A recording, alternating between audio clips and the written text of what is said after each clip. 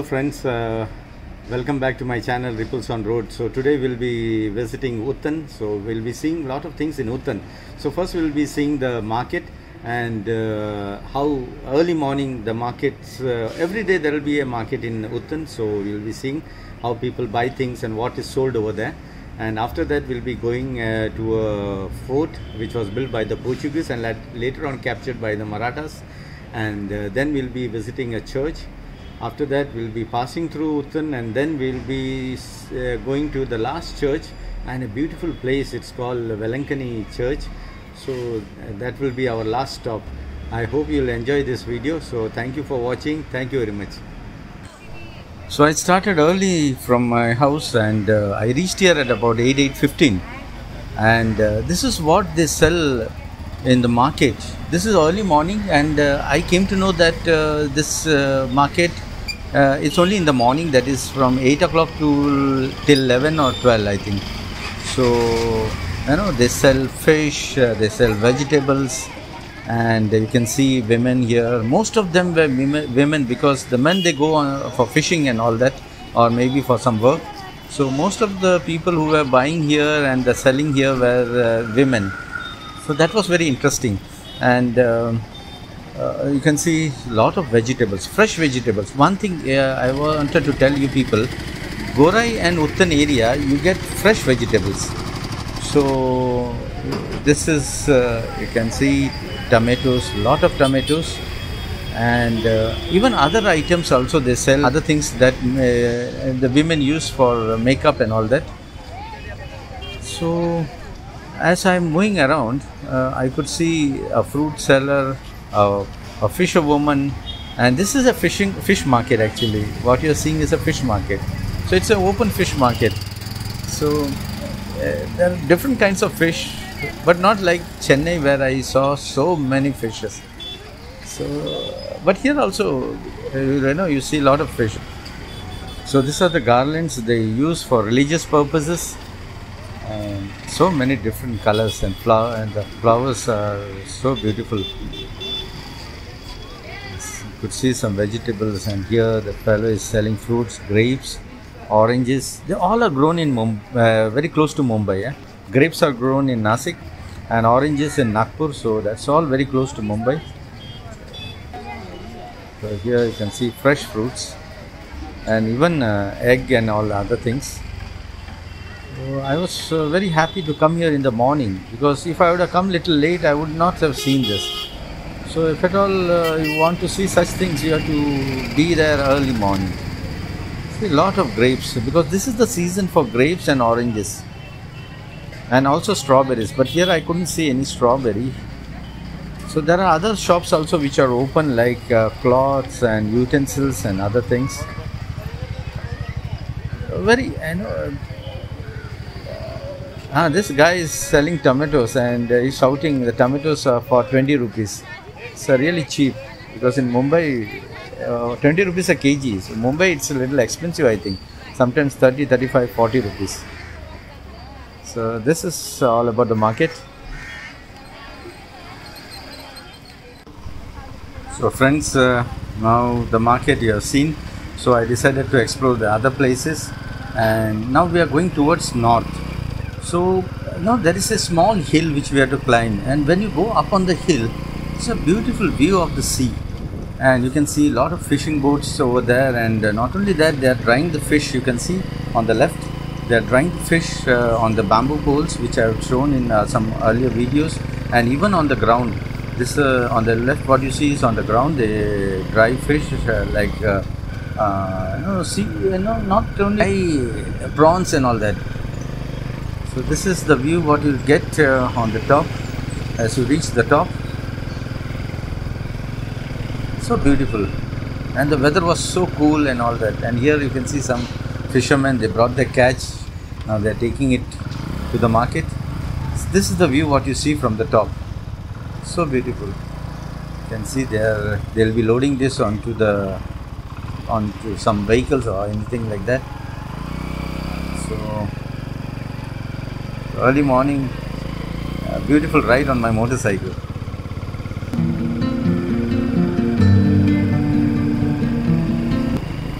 So I started towards the fort, and uh, that is called Dharavi Fort, and I could hear some music going on.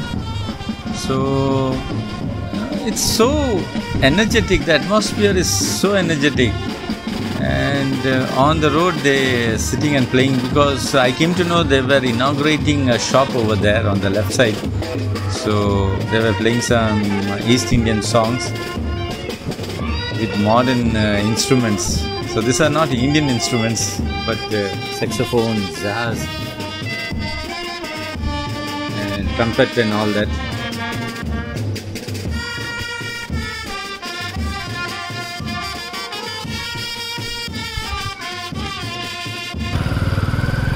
So there's a marriage also. I could you can see some decorations and. Uh, here I saw you know, a beautiful view.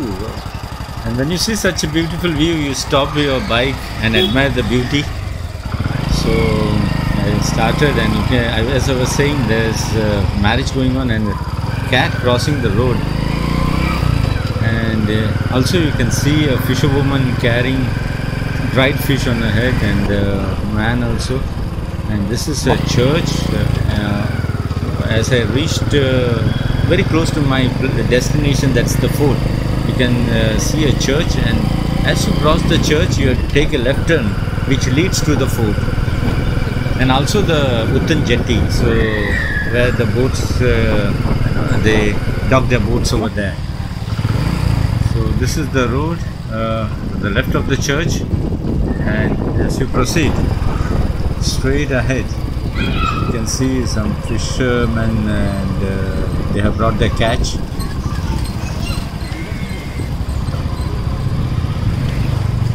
left a beautiful house. And this is downwards so uh, we're getting down. And, uh, as I was moving. Oh hello friends. So two dogs they were playing and uh, they were small ones. So I think we are reaching the fort now. So we have reached uh, the base now of the fort and uh, that's the place uh, where the, as I said uh, the Uttan jetty is there. And in my earlier video I had shown how the boat is uh, launched the fishing boat is launched into the sea. So we have reached the fort. And uh, little ahead we have to go and this road ends. And so I have to park the bike over there. So I'll be telling more about the fort as uh, we explore the fort. So this is called the Dharavi Fort and this was built by the Portuguese.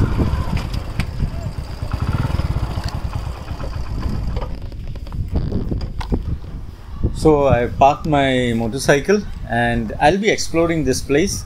So this place is known as uh, Dongri Dharavi area and uh, this fort is known as the Dongri Dharavi Fort and it was built by the Portuguese. Uh, but this fort was built later on because uh, the Portuguese reached here in this uh, region in 1534 and they built uh, a fort in uh, Vasai which is just across this uh, fort. So that was their headquarters, the northern headquarters of Portuguese and the Portuguese ruled here from 1534 till 15 I think 1530 sorry 1735 so when the Portuguese were here, the Marathas were uh, trying to get this fort and conquer this area because the Maratha ruled the interiors of Maharashtra. And uh, Shivaji Maharaj, uh, the king Shivaji Maharaj, and his son, uh, that is Sambhaji Maharaj, they could not uh, get the control of this uh, fort. But later on, a king from Peshwa, that is Chimaji Appa, he conquered uh, not only the Vasai fort, also this fort. And uh, later on, uh, again in 19, there was a fierce fight between the Marathas and the Portuguese in from 19, sorry, from 1737 to 1739. And later on, the Maratha could conquer this fort and uh, after Marathas, uh, then the British. And what you see, these are the new. Uh, the, this area where uh, you can see some houses. These were built by the British. So I'll be telling you more about uh, the British uh, occupancy. So what you see here, let me get down and I'll show you. There are some children here uh, enjoying the afternoon. So what you see here, you can see the thickness of the wall. It is uh, about two to three feet. So that's the thickness of the wall. And uh, as I get down, uh, this was a small fort just to have a control on the sea uh, so that uh, the, the, enemy doesn't attack the Vasai fort. So this was just to keep a control. And there were cannons here, and uh, you can see from here also. Uh, you can see how the, the cannons were kept on this wall and you can see the thickness of the wall. So they could control the whole area that is the Arabian Sea from left to right. And uh, earlier you had, you might have seen how thick the wall and uh, the base of the wall. You might have seen how the base of the wall is uh, running through this uh, no, up to the sea level. So each uh, there were about uh, I, I could not count it but there were about 8 or to 10 cannons which were placed on this and there were some soldiers here.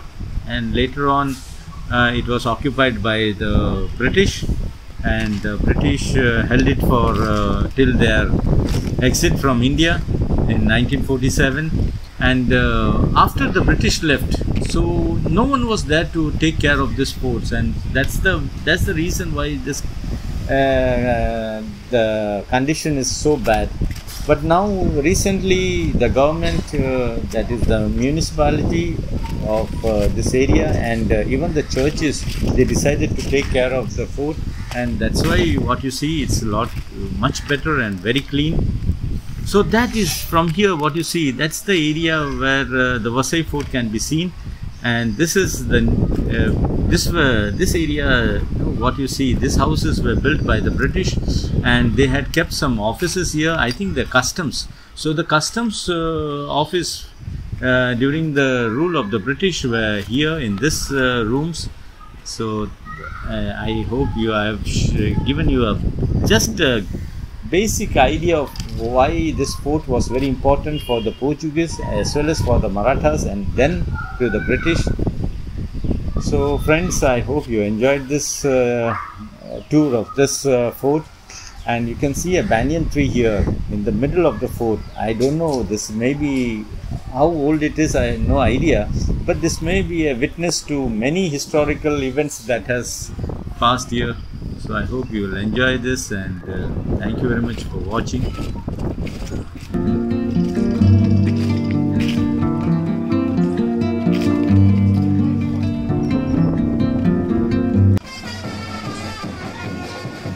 So as I was passing, I could see one more marriage here. So I think the girl is, you know, the girl's family, they are going to towards the boys' uh, house, and so beautiful. So, friends, uh, we have reached uh, our, the Our Lady of Bethlehem Church in uh, Dongri, Uttan, and uh, this church was built in 1613 and uh, this is uh, no this church was built by the portuguese. And this church has witnessed so many uh, events in the in the history of this church. So when the church was built and it was under the portuguese rule there were services going on. But when the marathas uh, conquered uh, this area this was the church which was conquered first by the marathas. And after conquering this church uh, they kept this as their place where they could uh, you know keep their soldiers and uh, the soldiers used to live here but just opposite to this church on your right uh, there is a place uh, there is a small ground. And after that ground you can see a hill. And on the hill the portuguese they had the fort and they occupied that place.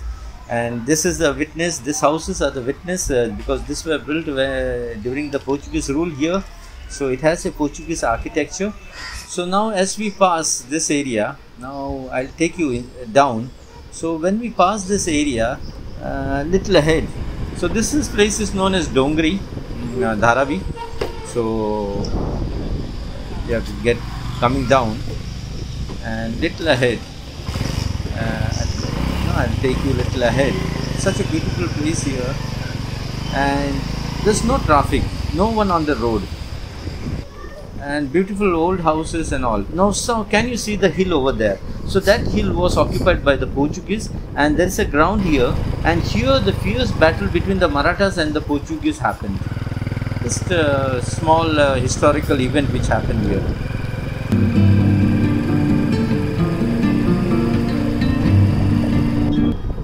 So now we are heading towards our last uh, place that is the Velankani Church and uh, this road has two hairpin bends. One is uh, now you can see this is the first hairpin bend and you can see the sea beautiful uh, sea in front of you that is the Arabian Sea. And as you move ahead you can see the second hairpin bend.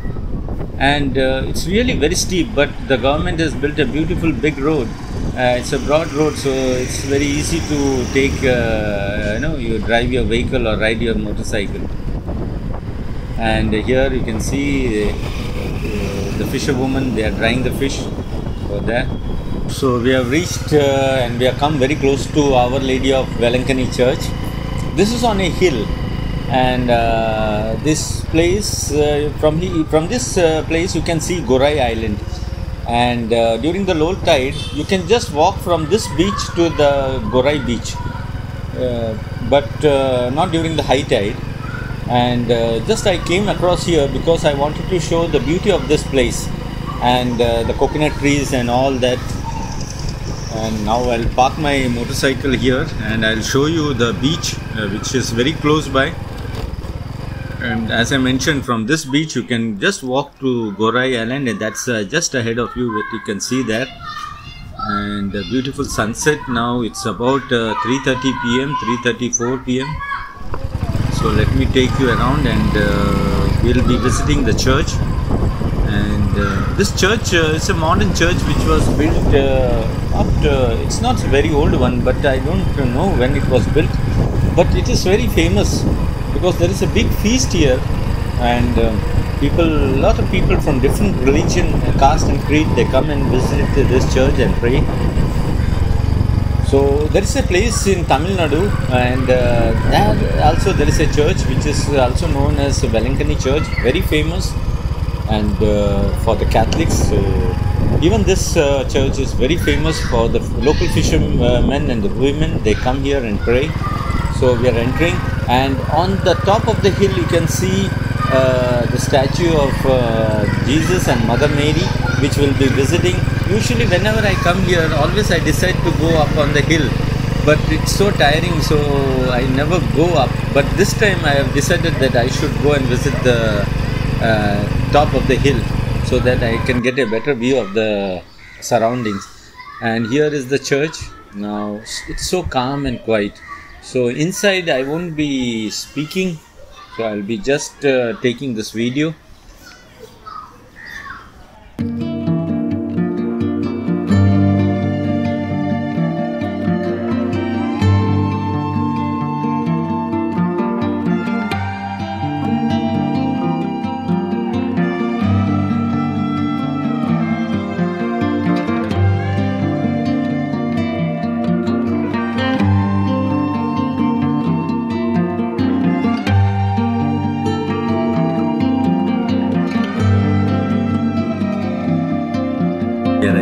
the church and as we exit you can see the sea just in front of you.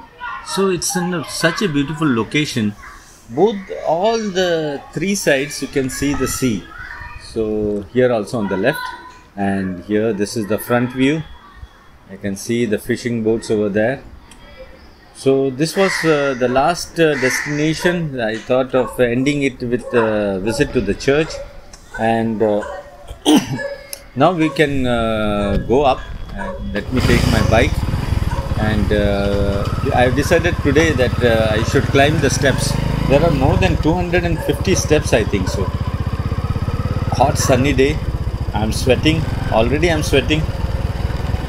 Yeah, there are some dogs. They are relaxing uh, let me start my journey up now let me park my bike over here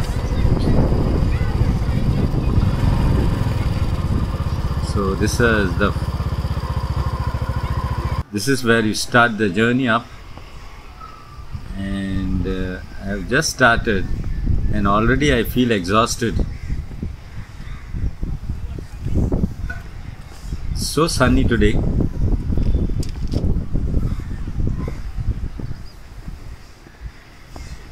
You can see the statue of Mother Mary over there and a big cross.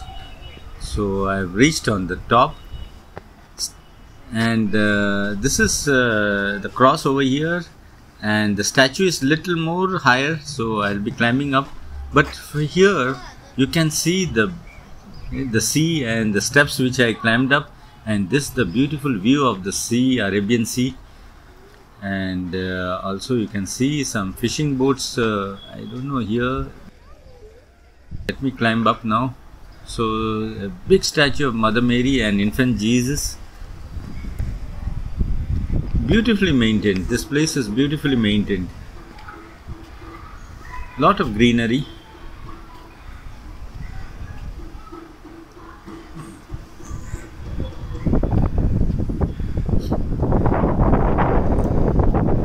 What a view from here.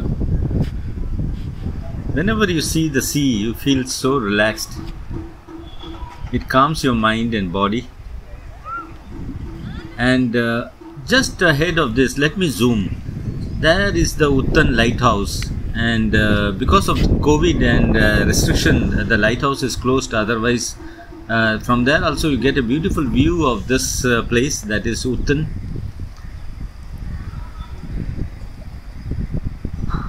So these are the fishing boats which are docked here because there is no harbor here. So they dock it in the the sea so I'm getting down and uh, that's the end of this uh, journey to Uttan. I've shown you many places on my way. I have explored a lot of things for you all. And friends if you want to come here it's very easy. You can come through Marve Malad as well as you come you can come through Bhayandar. And uh, there's a third option also. You can come through Gorai that is uh, Borivali so three options are open, but uh, Gorai and uh, Malad, you cannot come by your car. You have to come by Uttan. So this is on the top of the hill where the lighthouse is, and you can see the fishing boat. And this is the Uttan uh, area. So thank you friends for watching my video. Thank you very much. Uh, please do like and share. Thank you very much.